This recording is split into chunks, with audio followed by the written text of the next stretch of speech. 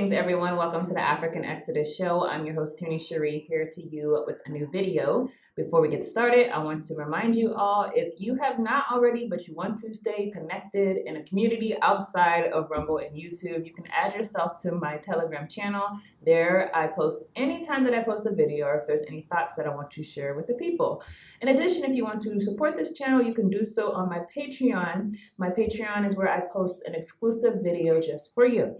So today we're going to talk more about this subject within the segment Come Out of Christianity. We're going to talk more about the beginning stages of Christianity and ask the specific question what's wrong with Christianity? You all know, you should know by now that I am absolutely a believer in Yahushua HaMashiach, that he is the son of Elohim, God in the flesh, all of these things, I have been very clear that that's my belief. So when I tell you that there's a problem with Christianity, what am I saying? Isn't that what I am? Aren't I a follower of Christianity? The point, importance of differentiating these the the one of the Bible and the one of the modern world is because you will see very early on that there was a co-optation of the message and of the belief that has had a really detrimental effect to this day. When you look at these scandals that are happening, whether it's the TB Joshua scandal or or even I did a report on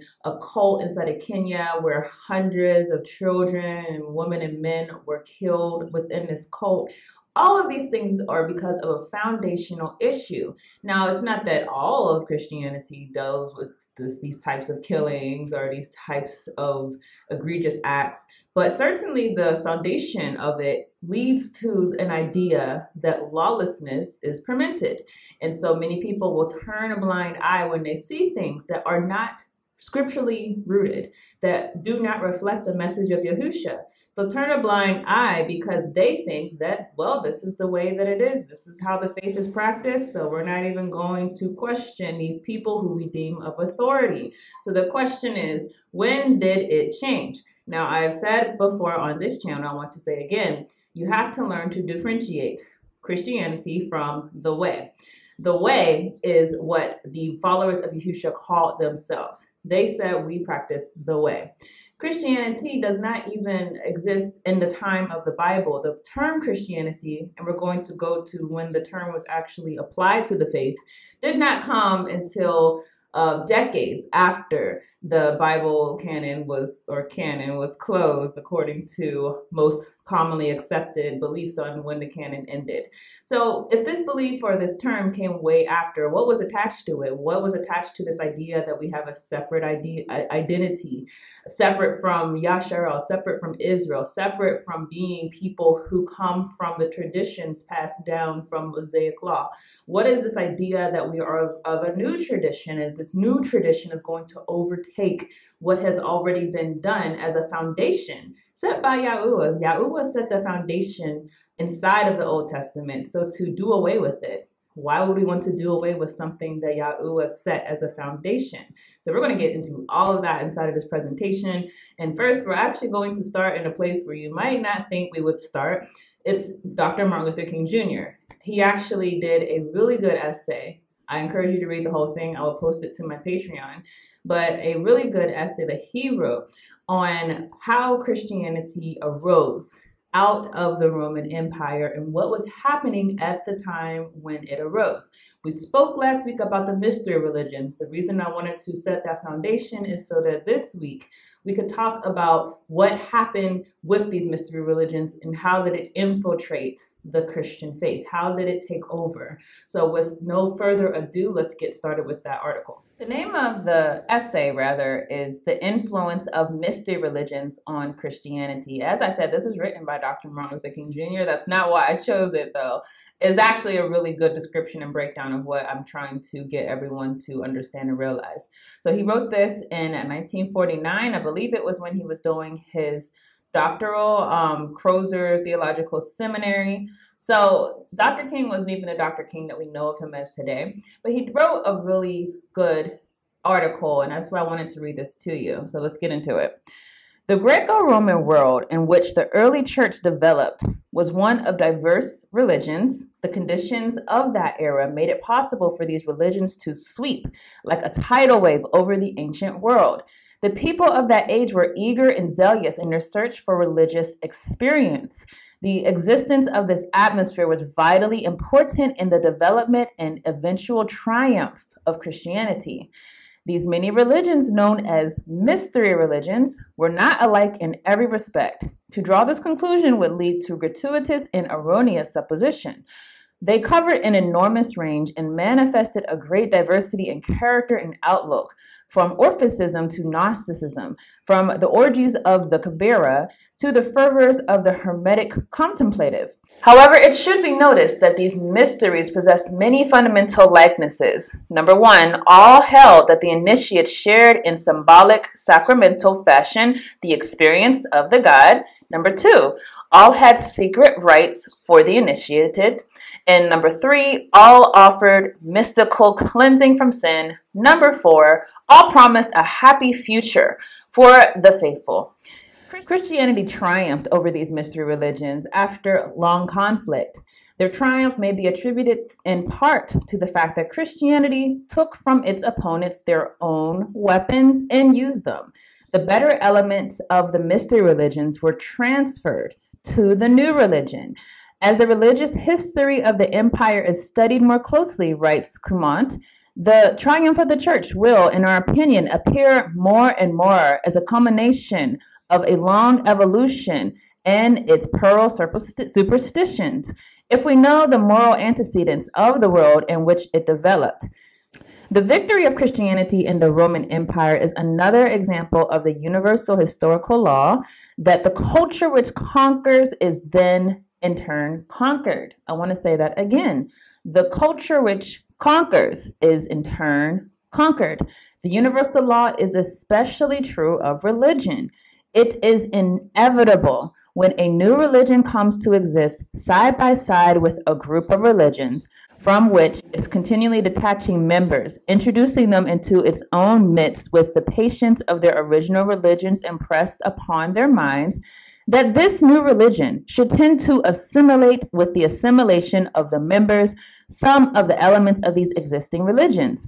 The more crusading a religion is, the more it absorbs. Certainly, Christianity has been a crusading religion from the beginning. It is because of this crusading spirit and its superb power of adaptability that Christianity has been able to survive. Dr. King then goes into describing a number of other mystery religions. We're going to talk about one particular mystery religion, and I encourage you all, just in general, study the mystery religions because you'll see a lot of similarities that have infiltrated many of our thought beliefs, not just in Christianity, but Western society in general.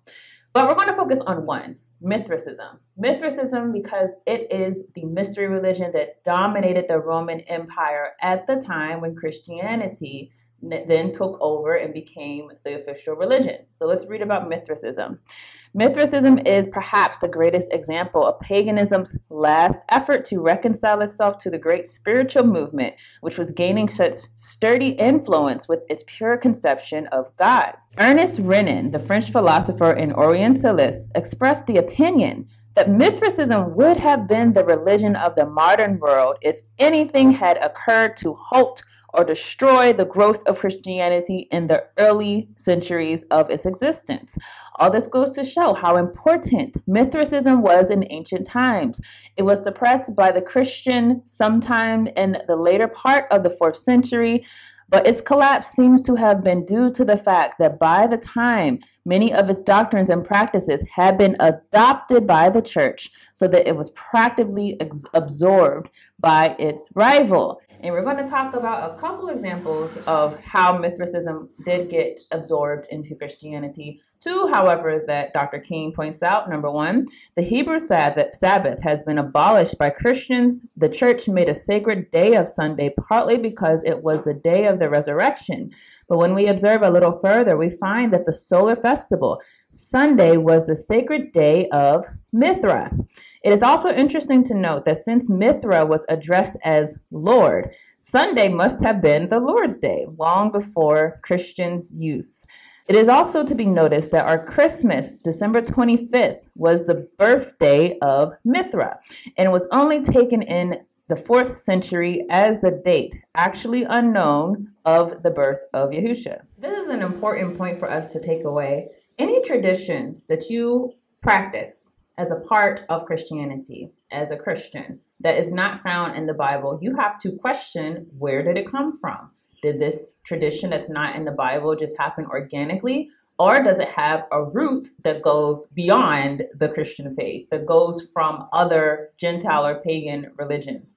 And I implore you to do more research on these different traditions because you'll find time and time again these things did not just happen. It didn't just happen like, oh, we like this idea, let's just adopt it out of nowhere. Most times these came directly from mystery religions. So let's talk about a couple of more examples. Many of you might wonder, how is it that there is a pope inside of Catholicism, particularly when we're told not to call anyone father inside of the scripture? Reading from Matthew 23 9 through 15. Do not call anyone on earth your father, for one is your father, he who is in heaven. Do not be called leaders, for one is your leader, that is Hamashiach. Hamashiach meaning Christ. But the greatest among you shall be your servant. How absolutely contradictory is the Catholic practice of calling someone your father, and particularly the Pope, the father of the church. Well, where did this come from? Let's read from this article. It says The Pope, also known as the Bishop of Rome, is considered the spiritual leader and the highest authority in the Roman Catholic tradition. The word pope is derived from the Latin word papa, which means father or pope. On the other hand, the word pater is also the Latin origin and means father. Get this. In Mithraism, the term pater refers to the highest grade or rank in the Mithric priesthood. Mithraism had a hierarchical structure with seven distinct grades or levels, with pater being the seventh and the highest grade. Please take note and remember that there are seven grades in Mithraism. We're going to come right back to that. Each grade had its own sets of responsibilities, rituals, and knowledge. The progression through these grades represented an individual's spiritual journey and growth within the Mithric mysteries. The Pater was considered the spiritual leader and authority within Mithricism. They played a central role in conducting rituals and guiding in- initiates on their path to spiritual enlightenment. Mithricism was also known for its secretive and elusive nature, with the ranks within the priesthood part of an intricate system of initiation and knowledge transmission. Now, I asked you to take note of and remember seven levels of initiation. How many sacraments are inside of Catholicism? Seven. There's seven sacraments, basically levels of initiation inside of Catholicism. The first being baptism, confirmation, Eucharist. The second being or the sec or the fourth and fifth being penance and the anointment of the sick, and also the sixth and the seventh, marriage and holy orders. Now I mentioned to you, don't automatically think that because something might sound good that it must come from the church or it must come from uh, Catholicism or Christianity.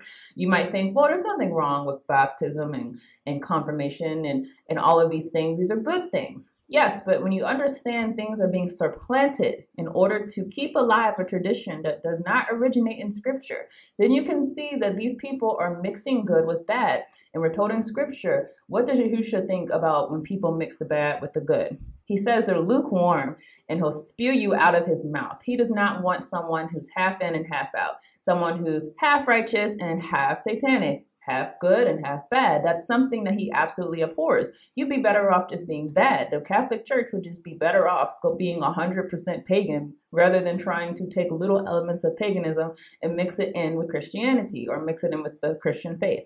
Let's do one more example, and I promise you there are many, but this is one that I think is major. The idea of a church being the place where we go and do everything in regard to our religious duties. This comes from Mithraism. And in Mithraism, there was a temple. The temples were essentially underground caves. And in these caves, there would be different rituals that would be performed. Now, here's something that's very interesting. Inside of the Basilica of the San Clement that's inside of Rome, this church is actually built on top of a Mithras temple. And there's other examples of this. This is not just one. There's many examples of when the faiths basically change. The Romans would take their pagan temples, pagan uh, structures and literally convert them into churches. You would think that if they're concerned with a pure and absolute devotion to Yah, that they would not even want to associate themselves with those things. What are we told in scripture whenever Israel would repent? And come back to Yah from their Gentile Gentile practices, they would burn down things. They would tear down the poles. They would have nothing to do with them, and Yah would have it no other way because He's been very clear. He is a jealous Elohim. Do not try to bring any other gods into the worship of Yah. So this is the true spirit that would have been inhabited if these people were truly devoted to his purpose and to his word. But we can assume or take uh, just note that the fact that they were so willing to and outwardly, boldly mix their faith with things that are clearly pagan and clearly from the mystery religions, that they were not true adherents. Their heart was not truly given to him. They were not truly seeing the value of dying to themselves and taking on the faith in spirit and in truth. So this is something that you have to always question when people try to act like early Christianity was pure and organic and, and everything was righteous in the way that they assumed or took positions. No, many of these things were borrowed from different religions and, and, converted into a new faith that would become Christianity. So let's go back to the central question that this particular segment is on coming out of Christianity, differentiating Christianity from the way, the faith that was practiced in the Bible. When did Christianity become what it is? I would argue that you can make a very clear separation between the attitudes of people before and after a certain individual. His name was Ignatius of Antioch. Now, this person, Ignatius of Antioch, is regarded across the board as a church father inside of Catholicism, inside of the Protestant movement, pretty much everyone looks at him as a church father. And so we have to look at what is it that this person who is a foundational pillar of the Christian faith, what is it that he taught and what is it that he he did to separate the faith and make it into something that we now see rapidly practiced all over the world. So I'm going to read from a letter that Ignatius wrote. He was Martyr, I believe, somewhere between 108 and the 140 CE. And we don't know exactly when he died, nor exactly when he wrote this letter, but obviously it would have been before he was martyred. So we can say it was in the early second century. So this is the Ignatius letter to the Magnesians, okay? And he says a number of things to them. We're going to start with chapter 7. Do not do anything without the bishop and the prepsters or do nothing without the bishop and the presters.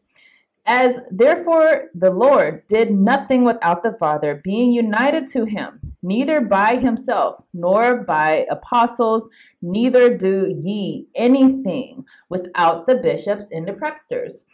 Neither endeavor that anything appear reasonable and proper to yourselves apart, but being come together into the same place, let there be one prayer, one supplication, one mind, one hope, and love, and enjoy undefiled. There is one Jesus Christ, than whom nothing is more excellent. Do ye therefore all run together into the temple, into one temple of God as to one altar, as to one Jesus Christ, who came forth from one Father and is with and has gone to one. So take note. Essentially, what he's saying in chapter 7 don't do anything without the bishop. Everything that you do, do it as one. We're going to talk about the problems with this. But chapter 8 caution against false doctrines.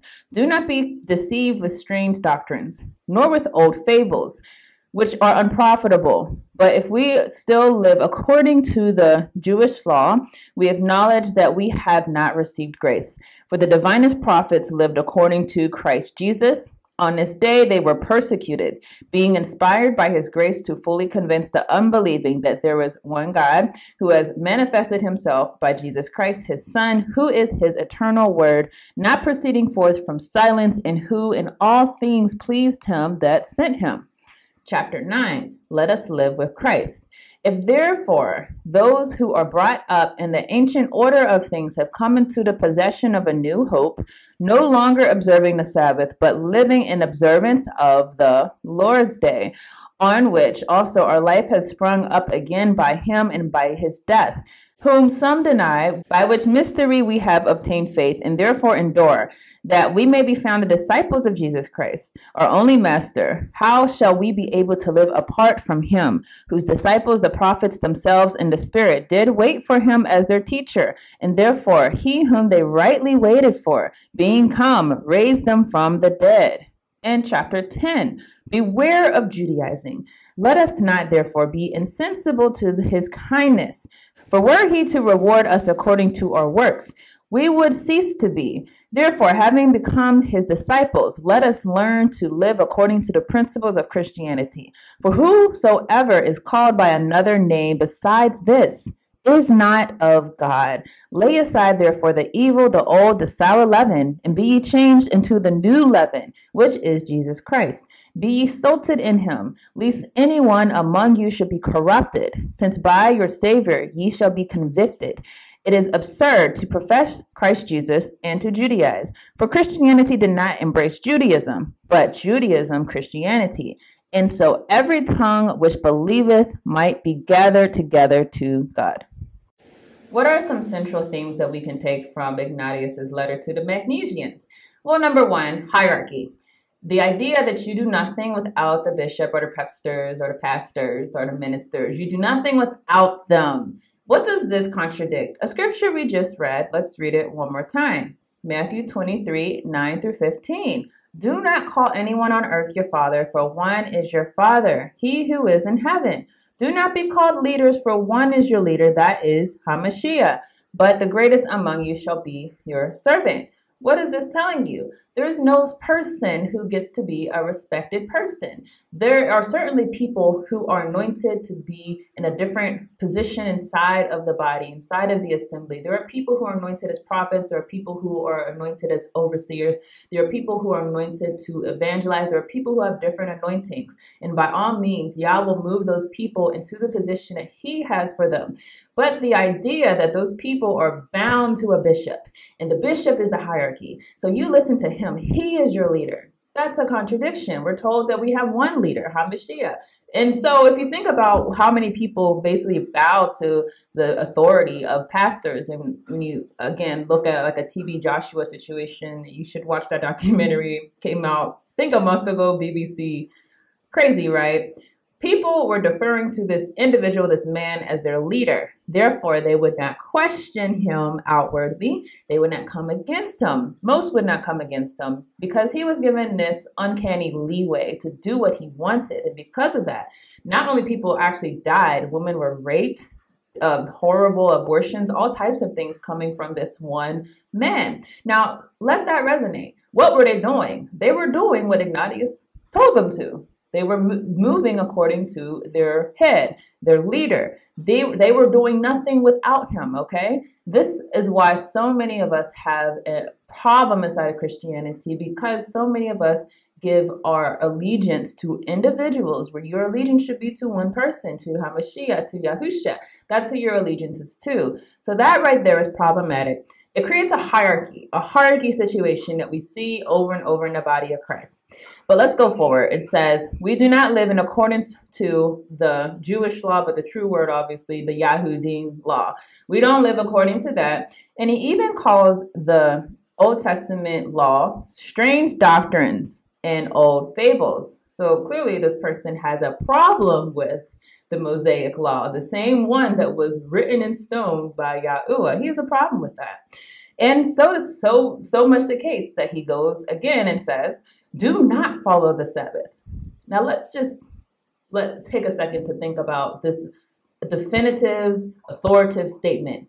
He doesn't say, which to me is not even a righteous thing to say, but he doesn't say, "Follow the Sabbath if you feel led to." Doesn't say, hmm, well, follow the Sabbath, but you know, follow some, uh, follow the Lord's Day, this new day we're creating. No, he tells people authoritatively, do not celebrate the Sabbath, do not follow the Sabbath. What do we know about people who tell you not to do Yah's commandments? Let's read Matthew 5, 17 through 20. Do not think that I have come to abolish the law or the prophets. I have not come to abolish them, but to fulfill them.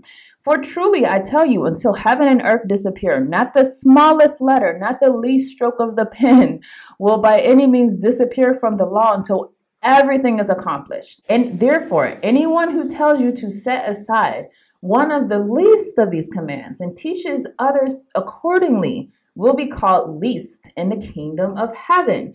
But whoever practices and teaches these commands will be called great in the kingdom of heaven. Therefore, I tell you that unless your righteousness surpasses that of the Pharisees and the teachers of the law, you will certainly not enter the kingdom of heaven. Now, take note and remember that part about the Pharisees. But let's go back to the central point. What did Yahusha say? If anyone tells you to set aside even one of Yah's commands, that person is least in the kingdom of heaven. Ignatius, if he is judged to enter the kingdom of heaven, I am not the judge. Many of you probably thinking he ain't he ain't going to enter heaven. We know we don't know, but let's just say he does enter the kingdom of heaven. Based on what Yahusha says, he would be least in the kingdom of a kingdom of heaven. He told people, "Do not follow the Sabbath. Do not do this." How absolutely uh, abolical. I mean, how how is this okay that we accept this as a doctrine that literally contradicts Yahusha. And we call this man a pillar and a church father of Christianity. So let's go on. He also says, do not Judaize. The, the real term would basically be do not live as the Yahudim. Do not live as the Hebrews. Okay, take note of that. Then he introduces a new faith called Christianity, okay? And he says Christianity did not embrace Judaism, but Judaism embraced Christianity. So every tongue which believeth might be gathered together to God. And he also says, I don't know if you noticed this, that whoever is called by any other name besides this is not of God. Whoever is called by any other name but Christianity is not of God.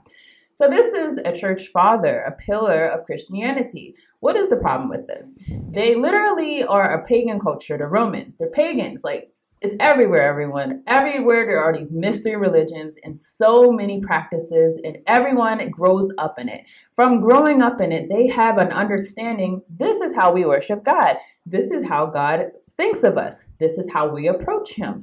This is how we treat him. They have their own understanding. And if you think about the fact that Ignatius is telling these people who come from a pagan religion that have no idea how to approach Yahuwah, um, he's telling them don't even think about what the what happened with the Jews. That that's done away with. We're going to now have Christianity. Let's start from a blank slate. Well, they can't start from a blank slate because all of them are bringing their own understandings into the religion. Discover that the Greeks actually still rule the world. The Greeks are ruling the world from their grave. As a matter of fact, dead men rule the Bahamas. Dead men. Dead men rule America. Dead men. Dead men rule Europe. Dead men. Why? Their ideas are so powerful. They left it after they died.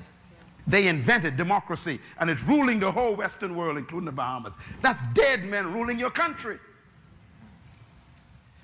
The Greeks believed that you who were born with certain unique traits were automatically leaders.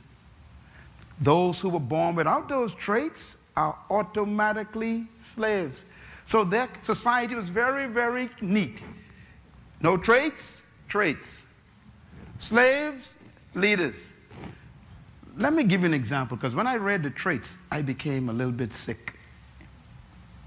One of the traits were if you were born with sharp pointed nose, blue eyes, fair skin, fair skin, like white, and thin lips. This is written in their, in their document. You were born to be a leader. And if you weren't born with those qualities, then their conclusion was you were created by the divine gods to be a slave. They believe that. So it doesn't matter what you think about yourself they would study you and see if you have those natural endowments. If you don't have them, it doesn't matter how many degrees you get from college. You are simply an educated slave. So this is serious. So this is the philosophy of the day. So putting on a suit and wearing a tie didn't impress them. You are simply a well dressed slave. See, some of y'all think that change. That's why I'm getting to it slowly. I'm working my way there. See, some of y'all think that because you came back home with a PhD, that they ain't gonna bring the white consultant in and work over you. And you got more degrees. Because somewhere in their twisted mind, they are still sick with Greek thinking. Here's the problem. When the Greeks were invaded by the Romans, the Romans invaded this culture of the Greeks but the Romans normally would go into a place and, you know, wipe out the place. But when they came to Greece, they saw the beautiful temples, they saw all these gods, and, you know, beautiful statues. And then the Romans came to the capital and they saw the library with all these scrolls, all these writings. I mean, thousands of scrolls. And the Romans were so impressed. Now, the Romans are military guys, they're not into thinking, they're into fighting. So when they came to Greece, they were astonished. They said, you know, no other civilization is like this. So instead of destroying the library, the Romans saved it. And the Romans took the books from the library back to Rome. And the Romans studied and adopted Greek theory of leadership. and the Roman Empire ruled the whole world. Those of you who study history, you know the Romans ruled from Africa all the way up to Scotland. So the Romans ruled the world, destroyed themselves. Now here's the big part. The Roman Empire did not fall by invasion. It fell by disintegration. Disintegration means it fell apart like a, you know, like a, a, a piece of, of cake that just broke up in little pieces. That's how the Roman Empire fell apart. Well, you just broke up. And what happened was everybody scrambled for power. And the result was many little kingdoms. Instead of one kingdom, many little kingdoms. Let me give you some of their names. Spanian, Franco, Belgier. Those Roman kingdoms. Anglo, Roman kingdoms. Portugal, Roman kingdoms. We know these kingdoms in English. Franco, France. Belgier, Belgium. Porco, Portugal. Anglo, Spanian. They're all kingdoms. They are all Romans. You can get it after I'm gone. they are all Romans. So their psyche, their mentality, ingrained. We were chosen by the gods to rule anybody who don't have our traits. They were chosen by the gods to be our servants and our slaves.